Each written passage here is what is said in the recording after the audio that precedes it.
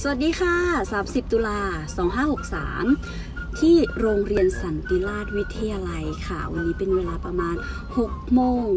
49 นาทีค่ะ มาถึงโรงเรียนแล้วเนี่ยเราจะไปติดตามกันว่าวันนี้เราจะมาเลือกโรงเรียนมีวิธีการอย่างไรบ้างนะคะ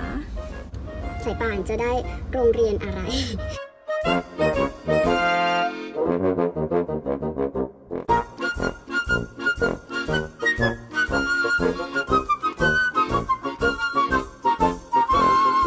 ลำดับที่หนึ่งนายกำพลวิญญาลัยเชิญค่ะ เลือกสพมหนึ่งครับลำดับที่ห้าโรงเรียนเทศบาลครับ ค่ะสพมหนึ่งห้านะคะอันดับห้าโรงเรียนเทพศิรินทร์ค่ะเก้านางสาวภูริสาภูมิสิทธิ์ค่ะ